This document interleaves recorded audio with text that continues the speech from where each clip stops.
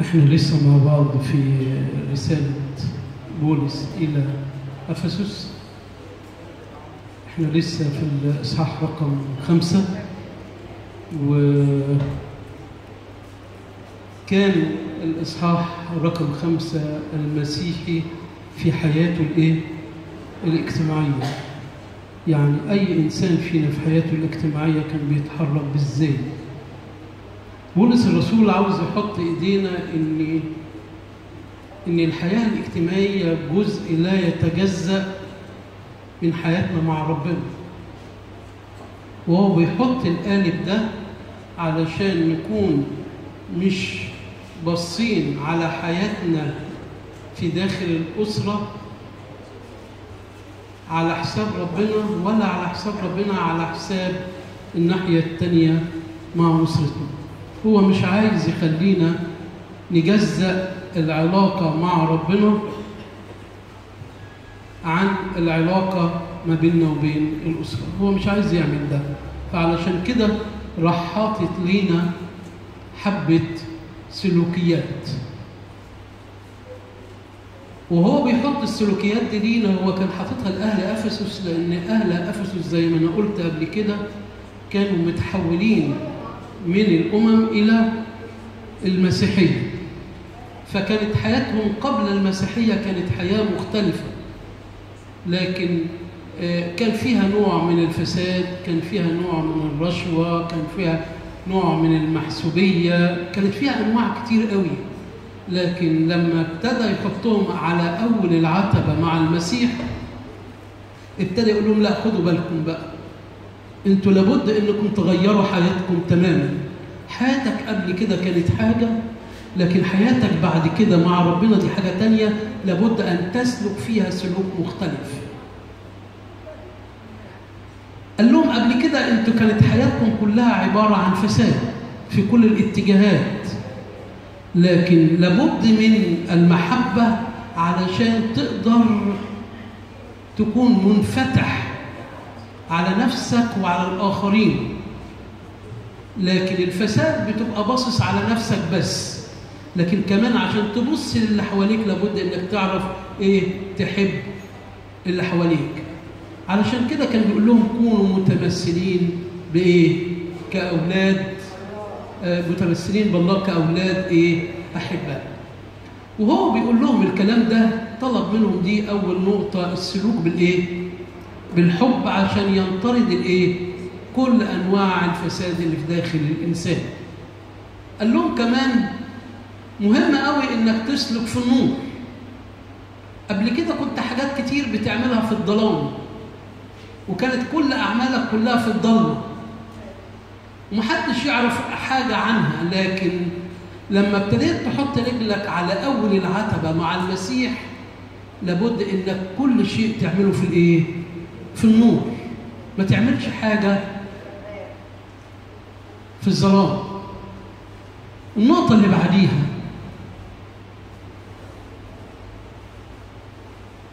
التدقيق في السلوك والإيه؟ والعبادة آخر آية بديت بيها في أول القطعة دي. آخر آية كانت استيقظ أيها النائم وقم من الأموات فيضيء لك المسيح.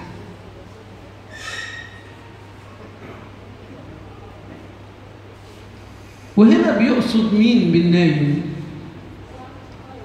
الإنسان النايم اللي هو في الخطية. بيقول له أنت عايز تفضل في حالة النوم بتاعتك ولا أنت عايز تطلع لحالة الصحيان والاستيقاظ والعمل والجد لو عايز تطلع لده قوم قوم من خطيتك قوم واستيقظ. قوم وفوق. لأن الزمن اللي أنت فيه ما بقاش الزمن بتاعك لأني أنا بدعوك وبقول لك قوم. قال الكلام دوت لمين؟ لبولس الرسول.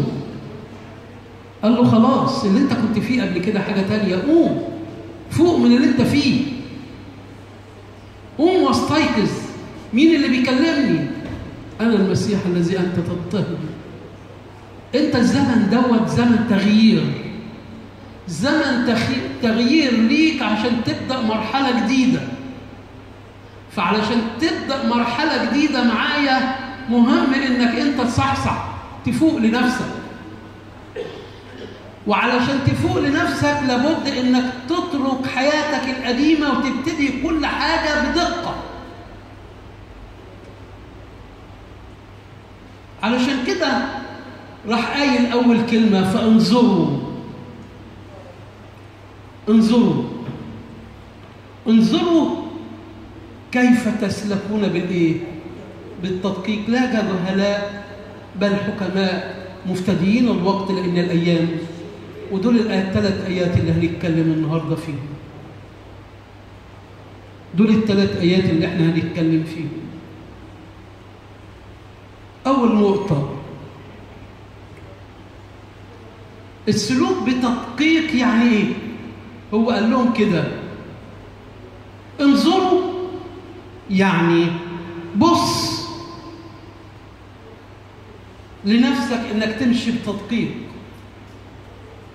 يعني إيه أمشي بتدقيق؟ أول حاجة إنك تخلي عينك مفتوحة. خلي عينك مفتوحة. علشان تسلك بتدقيق عينيك دي تكون مفتوحة مش مقفولة. يعني مش كل حاجة بتتعمل قدام عينيك تعملها لأنك أنت المفروض حطيت إيدك على المحراث إزاي ترجع لورا؟ إزاي تبص للي بيتعمل وتعمل زيه؟ لا خليك حكيم حبة. أنت ابتديت حياة جديدة. ابتديت حياة مع المسيح جديدة فبقيت إنسان جديد. مش كل اللي بيتعمل قدامي أعمله. مش كل هيصة بتهيص أهيص معاها. مش كل زيطة تزيط أزيط معاها. ما ينفعش. فخلي عينك مفتوحة.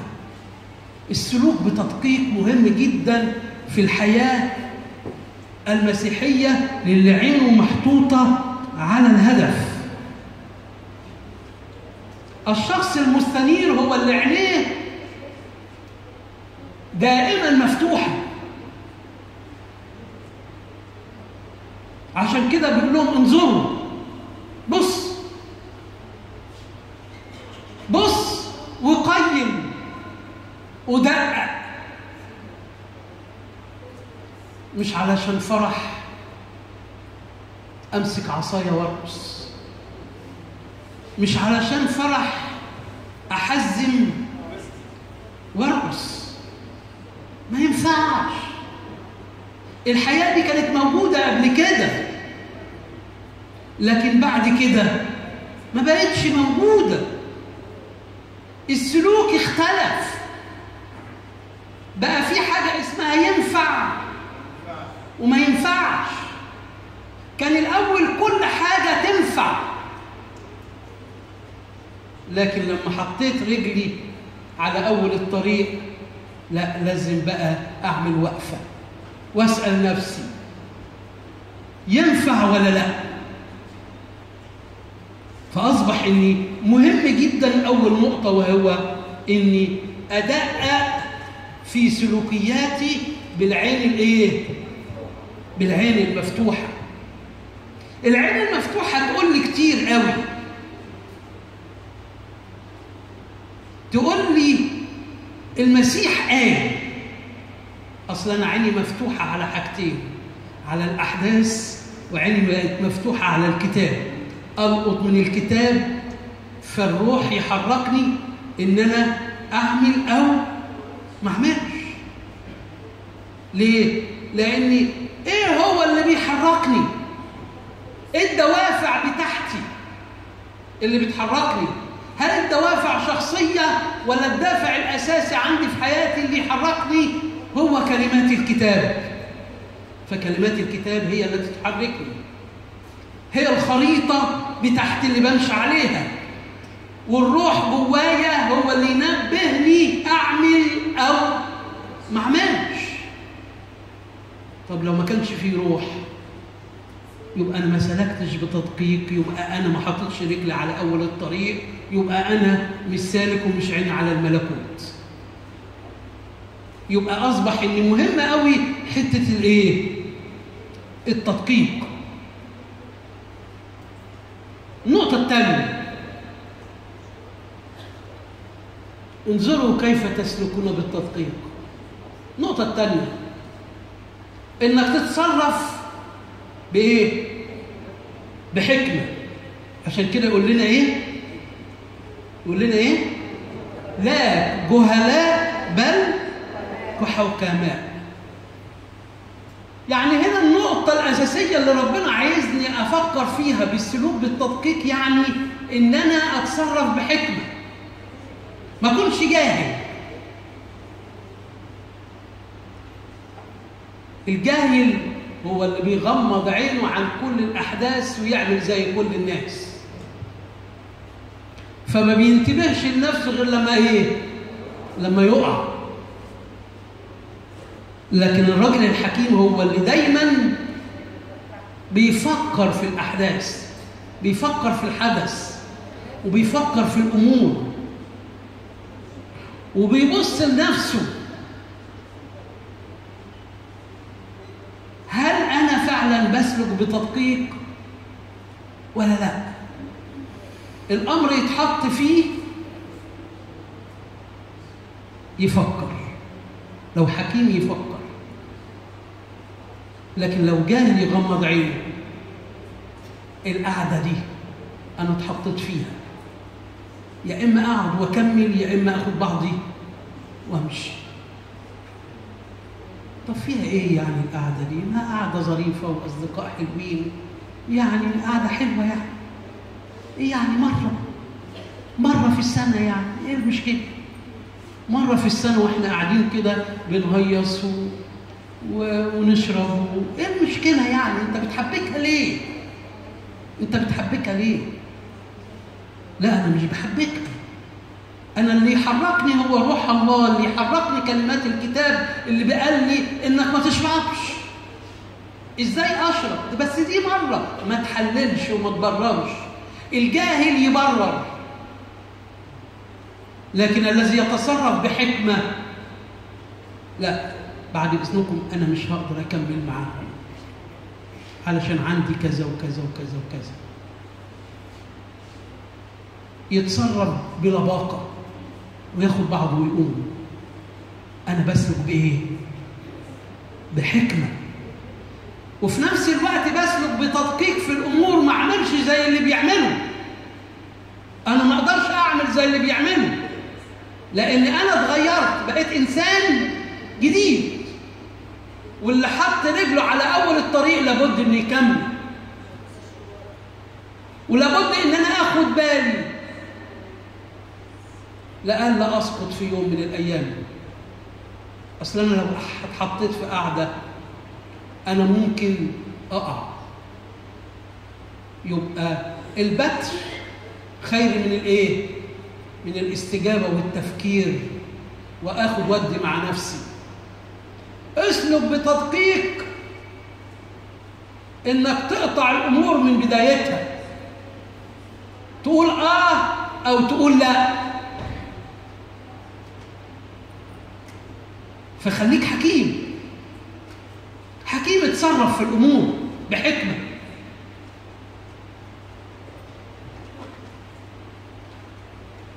هتقول لي طيب يعني يعني نمشيها يعني. دي حاجة بسيطة. دي كذبة صغيرة. آه ما في ثعالب كتير مفسدة للإيه؟ للقلوب ودي ثعالب ممكن تكون صغيرة لكن ممكن تضيعها تضيع العلاقة مع المسيح. ولو ضاعت العلاقة أو وقعت في الخية زي ما بقول تلاقي نفسك إبليس يجي لك ما انت وقعت. المشكلة بقى خلاص كمل. وكمل الطريق بتاعك. لا أخد بالي. أسلك بتدقيق كحكيم. أسلك بالتدقيق في كل حاجة. لئلا تضيع فرص كتير مني. في فرص كتير ممكن تضيع بسبب عدم التدقيق. زي يا كنيسه قومي بالإيه؟ أنا حرصت إنها تكون دي آخر ترنيمه لأن الحكيمات والجاهلات كل واحد كان معاه مصباح. لكن مع كل واحد فيهم كان مصباح في جزء كان المصابيح بتاعته ما فيهاش زيت. سميناهم الايه وأنا متهيألي بولس الرسول وهو بيكتب الكلمة دي كونوا كجهلاء بل كحكماء. أنا متهيألي كانت عينه على المثل بتاع الإيه؟ بتاعه العذارى الحكيمات والجاهلات. أنا متهيألي كانت عينه على دي لأن في ناس راحت وكله راح ويا بخت اللي بيجي وحلم. لكن هل أنا جاي مجهز نفسي ولا لا؟ أنا مجهز نفسي ولا لا؟ في ناس جاية مجهزة نفسها عشان تتكلم مع اللي حواليها. في ناس مجهزة نفسها علشان هدف معين جاية ليه لكن في ناس تانية جاية هدفها وعينها على المسيح بتسلك بتدقيق. بتسلك بتدقيق. انت رايح ليه؟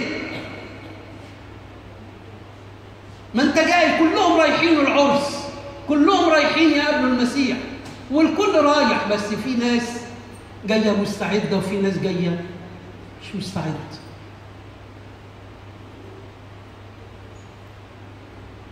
ده عدم إيه؟ اللي جاي مش مستعد ده عدم إيه؟ عدم حكمة منه. ضاعت الفرصة ولا ما ضاعتش من الجاهلات ضاعت. ضاعت. ليه؟ لأني ما عندهمش نوع من الحكمة. السلوك بتدقيق يعني إنك تكون حكيم في كل التصرفات بتاعتك.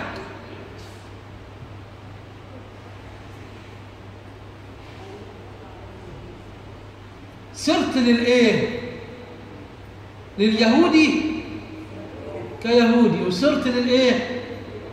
للاممي كاممي آه طيب. ليه بولس الرسول دي حكمة بقى. آه. دي حكمة. لاربح على كل حال إيه قوم. أنا عاوز أجيب ناس المسيح. مش مشكلة. أجيبهم إزاي؟ بحكمة. بحكمة. ما أجيش أقول الخاطئ أنت أنت خاطئ أنت وحش. ما هيبعد بعيد عني. ما جابوها لغاية عنده تحت رجليه وقالوا لها قالوا دي خاطيه ترجم. بص لها كده.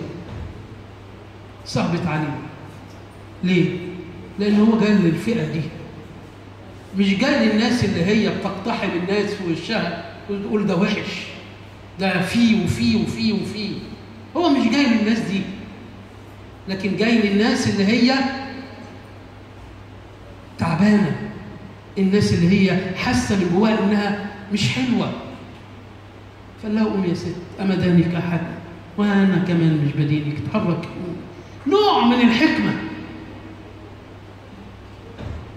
فخلي عندك الحكمة إنك في الأمور بتاعت حياتك الاجتماعية لأن الإصحاح اسمه الإيه؟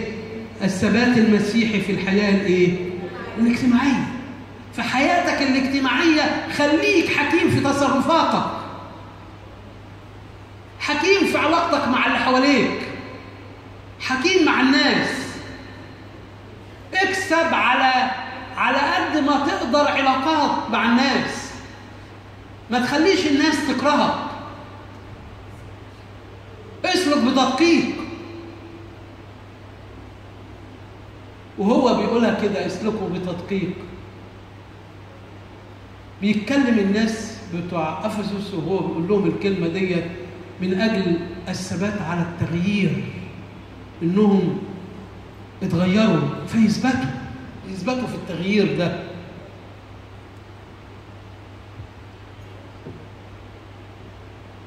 أنا مهم قوي إن أنا أكون إنسان مدقق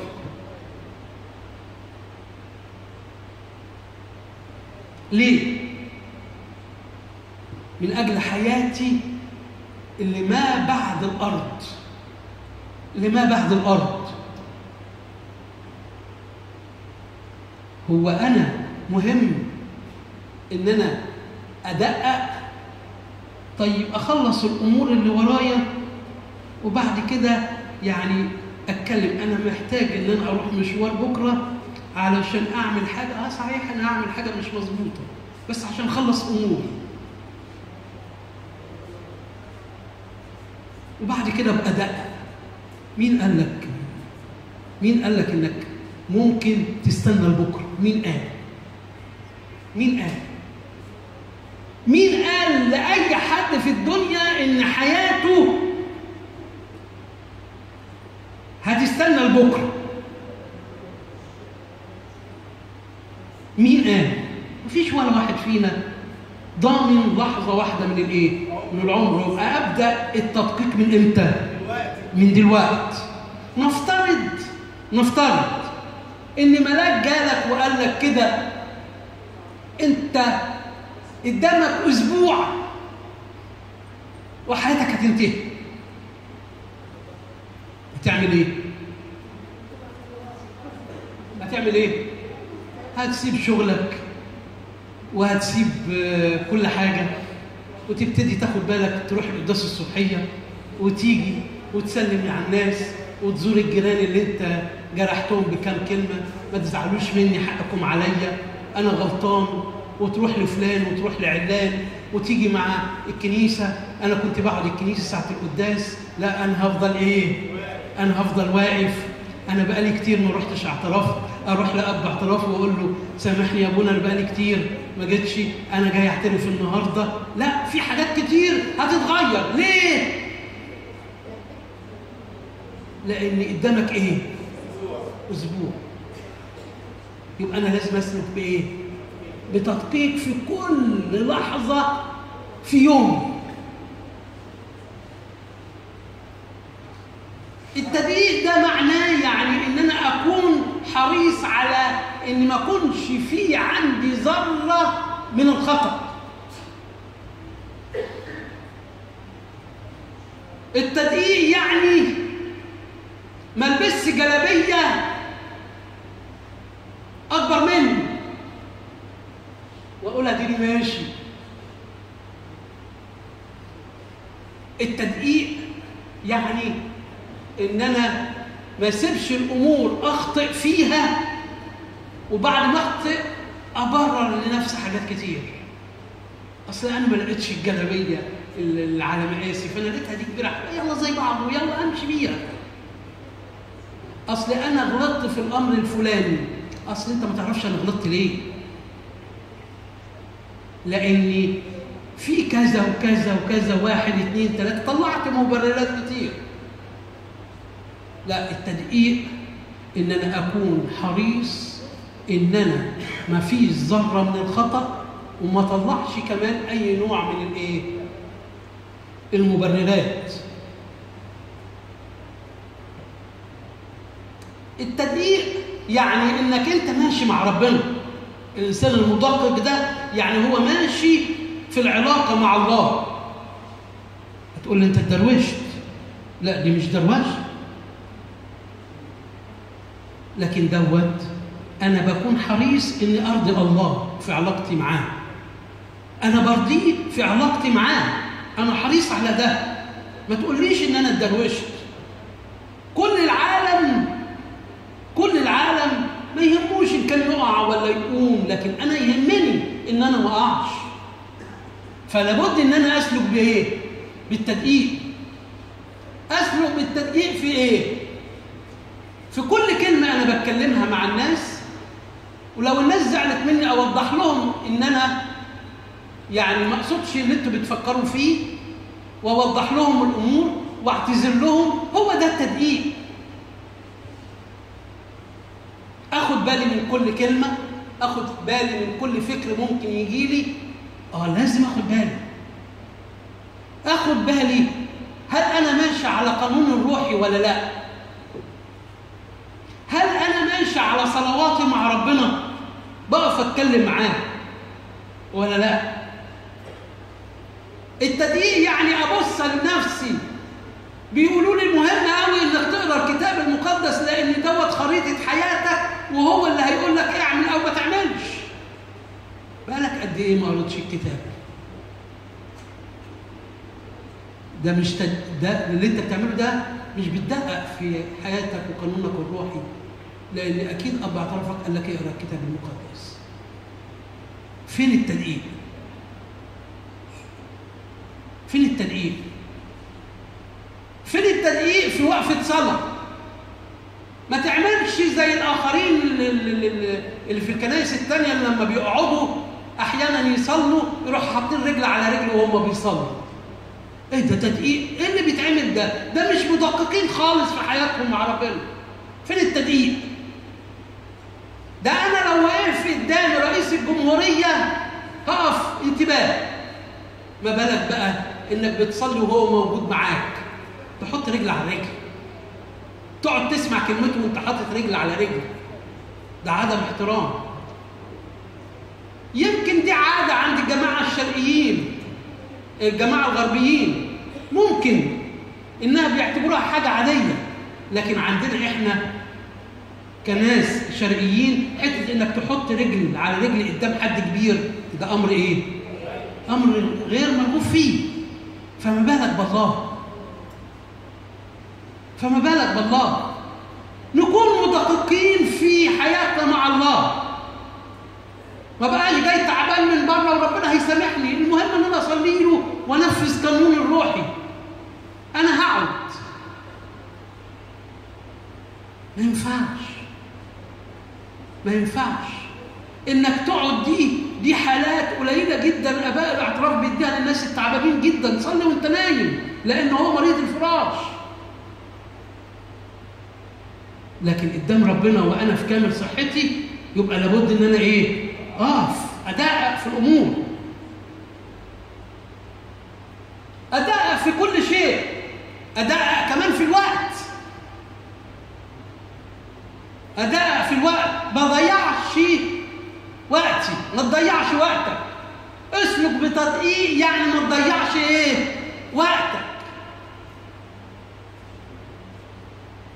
في ناس بتضيع وقتها كتير. إيه يعني لما اضيع ساعة؟ إيه يعني لما اضيع أضيع ساعات أروح فيها في أي حتة كده؟ يعني آه هل بتضيع وقت مع ربنا؟ كبير. وأنا لما بقعد قدام ربنا أنا ما بضيعش ده أنا بكتسب إيه؟ بكتسب وقت. هل أنت بتقعد وقت طويل جدا مع ربنا علشان تقول أعمل ملاهي يومين ثلاثة في الأسبوع؟ أطلع أتفرج الأسبوع ده في المسرح أطلع أتفرج في في, في السينما أروح مش عارف إيه الملاهي وألاقي نفسي حياتي كلها كلها عبارة آه صحيح الدنيا دلوقتي ما بقتش زي الأول. صعب جدا تلاقي تذكرة مسرح وصعب جدا الأمور بقى الاقتصادية بقت إيه؟ بقت عالية لكن في ناس بتقدر تضيع وقت تقول لك أنا عايز أضيع إيه؟ وقتي أضيع وقتي إزاي؟ إيه يعني؟ أضيعه في أي حاجة طب ما تكتسب وقتك تعالوا بصوا إن أقل ثانية ممكن تضيع تعالوا بصوا للفيلم اللي جاي ده عبارة عن ثلاث دقائق ثلاث دقائق أو دقيقتين ونص. هتلاقي الأمر مختلف. دقق في الكلمات اللي بتتكتب في تحت الفيلم. دقق في الكلمات دي. لا الوقت.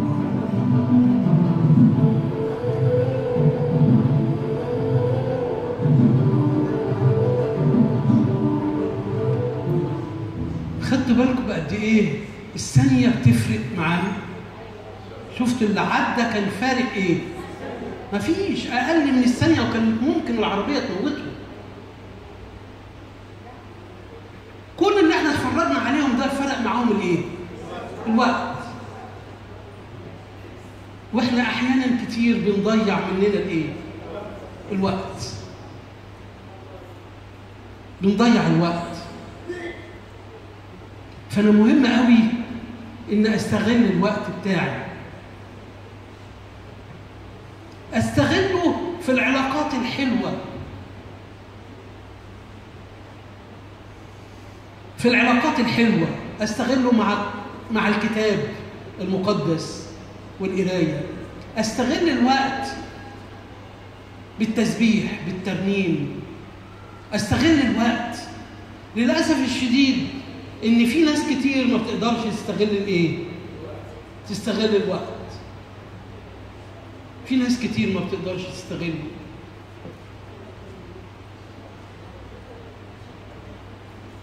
لكن الوقت بالنسبة لها أي حاجة.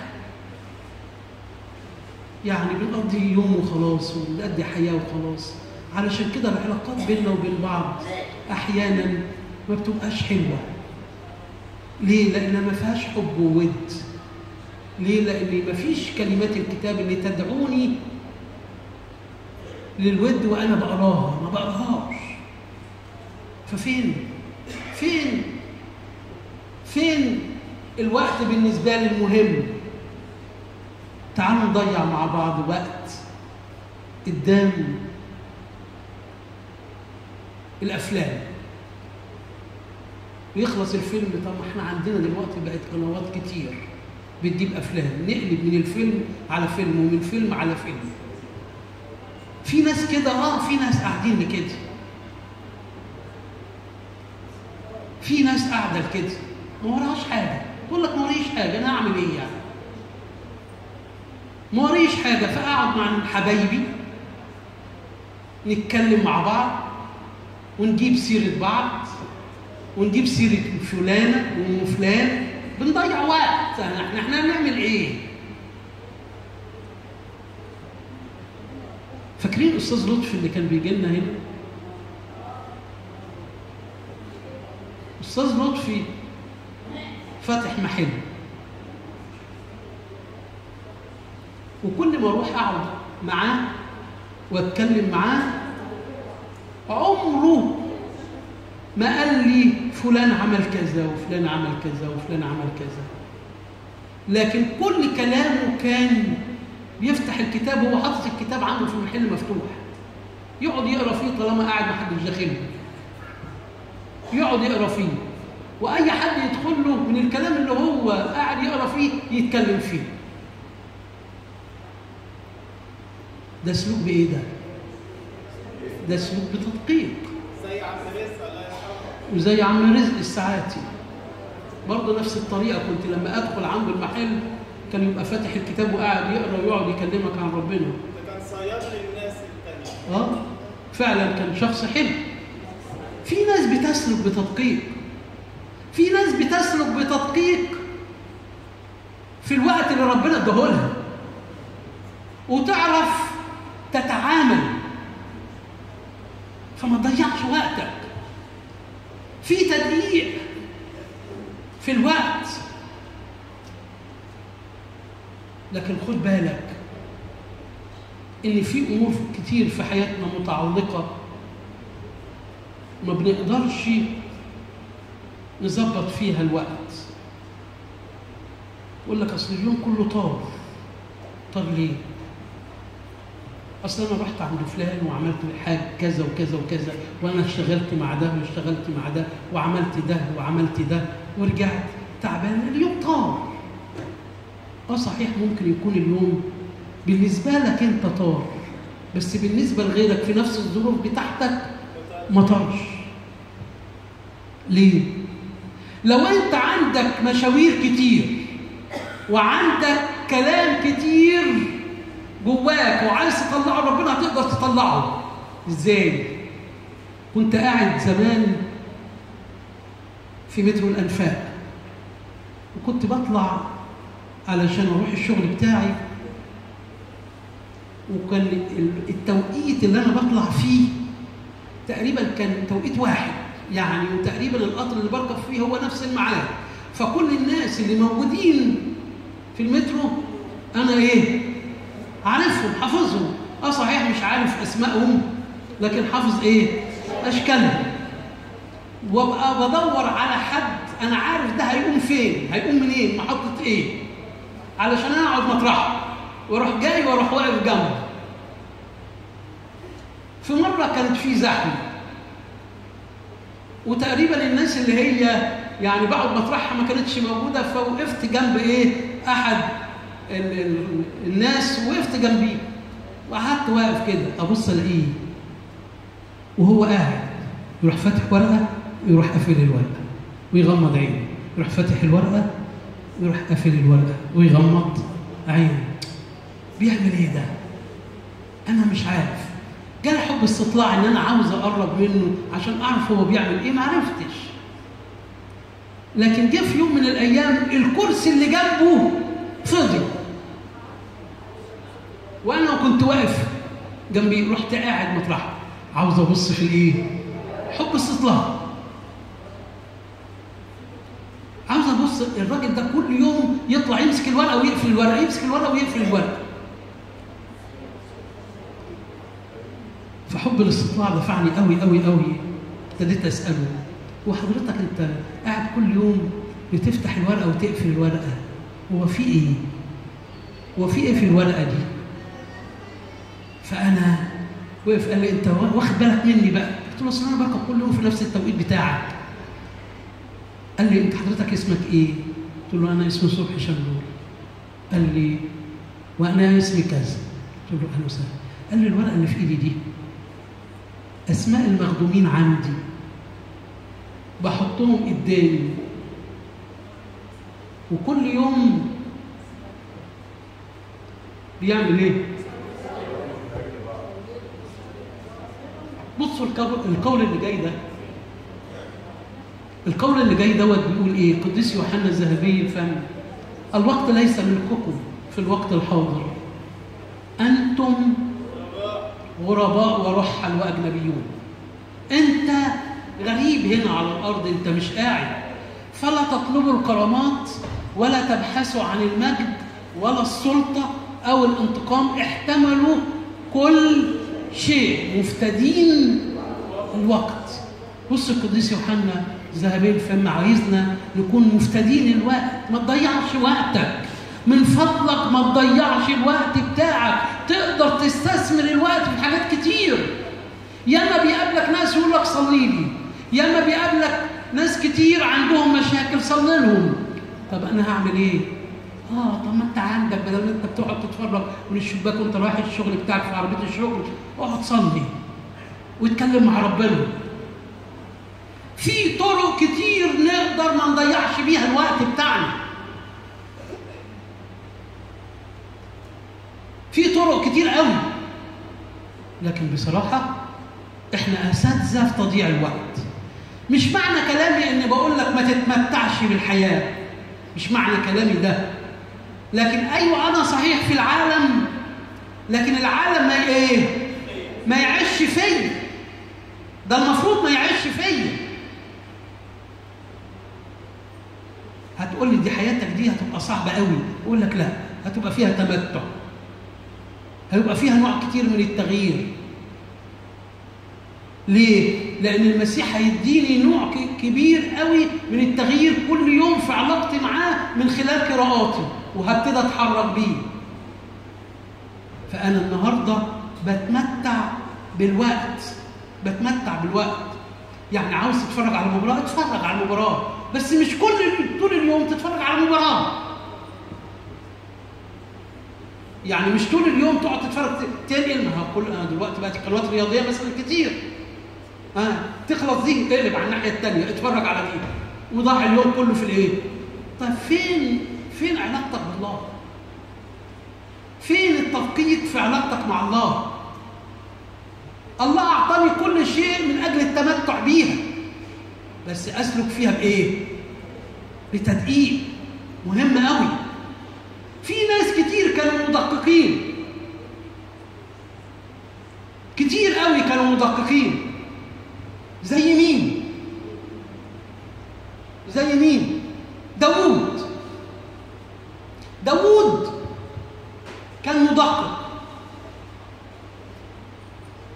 هرب من شاول ولما هرب من شاول ما ضيعش الوقت بتاعه طول ما هو ماشي بيعمل إيه؟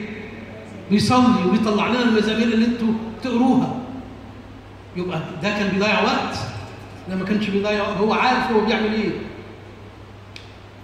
ده حتى ده حتى الخرفان بتاعته اللي كان بيرعاها زمان وهو صغير. وماشي بيها وقاعد. كان بيبص لها ويبتدي يتكلم مع ربنا. الرب ليه راعي؟ مش أنا راعي للخرفان دي. أنا راعي آه بس ربنا هو اللي إيه؟ الراعي ليا. في مراعي خضر إيه؟ يربضني طب ما أنا جايبهم في المراعي الخضر. لكن ربنا بيعمل معايا ده. وطلع لنا داوود أمتع المزامير في الأوقات اللي هو كان فيها مطارد من مين؟ من شاول. كان مطارد فيها وطلع لنا مزامير رائعه لكن الروعة في داوود كمان إنه مش كان مدقق في الوقت بس. لا ده لما طلع شاول يدور عليه علشان يقتله. لأن شاول كان عارف إن داوود هياخد منه الإيه؟ الملك. قال لك لا ما ينفعش. أطلع وراه وابحث عنه. وقعد يدور عليه في كل حتة. يطلع من المغارة دي للمغارة دي وفي المغارة دي للمغارة دي لغاية ما جه في يوم جه دخل في مغارة هو والجنود بتوعه إيه؟ نام مين كان مستخبي في نفس المغارة؟ داوود واصدقائه اللي معاه قالوا له جالك لغاية إيه؟ فرصتك بقى دي فرصتك دي فرصتك قوم وخلص عليه مبرر. مبرر انه يقوم ويخلص عليه ده ده مطارد. وهو يا يا يا, هو يموت يا هو يا يا, يا شاول يموت. حاجة من الاثنين لكن ما أقدرش اسيبه فهو راح جاي وراح قايم وراح طلع وبص كده ليه شاول وهو نايم. إزاي أمد إيدي على مسيح الله؟ إزاي؟ ما جالوش قلبه فعمل إيه؟ قص جزء من الجلبية. عارفين لما يقص جزء من الجلبية يقول الكتاب إيه؟ ضربه قلبه.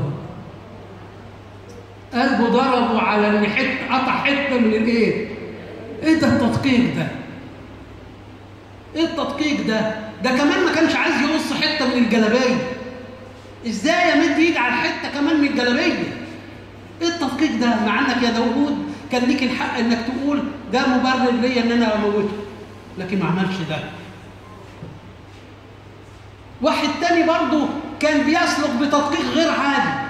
مع إن كل الظروف مهيئة ليه إن هو يقول يعني غصب عني غصب عني. يوسف يوسف كان ابن 17 18 سنة وهو في بيت فوتيفار شاب صغير. وجات له وقربت ناحيته. مرة واتنين ياخد بعض ويقول لها أجيب لك حاجة ويمشي قالت له بس تعالى شدته في مرة أكيد. أكيد يعني أنا بتخيل الموقف شدته راحت معداه جنبيها غصب عني. أنا متهيألي قعد يعمل كده. اللي بيخليني أفكر في ده؟ إن هو عاوز يبعد عنها لأنه في دماغه مش هي ديت اللي في دماغه. أنا في علاقتي مع الله فأنا قريب منه ما أقدرش أعمل اللي هي بتاع عايزاه. حد تاني في مطرحه صدقوني فرصة. وأنا شاب صغير. وجوايا شهوة كبيرة. وجوايا متطلبات كبيرة. إيه المانع يعني؟ مرة وخلاص. بس خد بالك مرة تجيب إيه؟ مرة مرة تجيب مرة تلاقي نفسك دخلت في دوامة تانية. لكن يوسف كان أمين جدا. كيف أفعل هذا الشر العظيم؟ وبعدين وأخطئ إلى مين؟ أنا مش بخطئ في حق نفسي ولا بخطئ في حق هذا هخطئ في حق ربنا. وأنا مش عايز غير رضا الله عني علشان كده عايزك تفكر في كل أمور حياتك بتدقيق. أوعى تتساهل ابدا مع الخطيه أوعى تتساهل ابدا. ولا تطلع لنفسك أي مبررات عايز تمشي في علاقة حية مع الله. حياة دقيقة. يبقى دقق أكتر وأكتر وأكتر. دقق. دقق. دقق. وخد بالك. خد بالك من نفسك. خد بالك من حياتك خد بالك من سلوكك خد بالك لأنك أنت صورة سيدك. خد بالك ما تعملش زي الآخرين. دقق أنت صورة سيدك. أنت نفس الصورة هم بيشوفوا المسيح فيك. فدقق دقق في تصرفاتك. خلي بالك بالك من كل كلمة. لأنك أنت ابن وبنت الملك. فابن الملك ما يقولش أي حاجة عفشة زي بقية الناس. خد بالك. خد بالك من كل حركة أنت. بتتحركها. لأنك بقيت صورة صورة للآخرين عن المسيح اللي جواك. خد بالك. خد بالك لأن ربنا عايزك تكون حكيم في تصرفاتك دقق في كل الأمور. خد بالك لأنك أنت مختلف. دقق في كل حاجة. أنت مختلف عن بقية الآخرين اللي بره. أنت مختلف. أنا مش زيهم. حياة التدقيق اللي كان بيقولها لنا بولس الرسول النهارده عايزنا نطلع في قفزات عالية في الحياة مع الله. يا إما تاخد القفزة الكبيرة يا إما تقف مطرحك يا إما تعمل الخطية وترجع لورا وتلاقي نفسك تهت مع التايهين حاجة من الاثنين وكل ده بسبب الايه؟ التدقيق. ربنا يدينا فعلا إن إحنا كلنا نكون في الحياة دي علشان نكون على صورته وعلى مثاله لإلهنا كل المجد والكرامة من الآن وإلى الأبد. آمين.